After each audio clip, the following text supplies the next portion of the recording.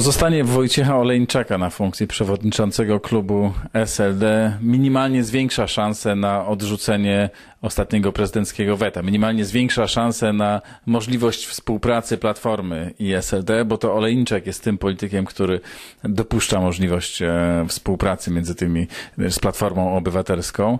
Mm, Niemniej konflikt między mm, Olejniczakiem i e, Napieralskim pokazuje, że ta partia jest w bardzo słabej e, kondycji.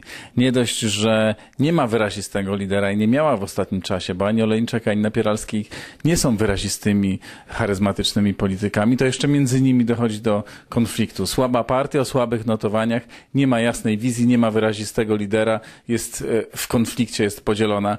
To źle wróży e, Sojuszowi Lewicy Demokratycznej.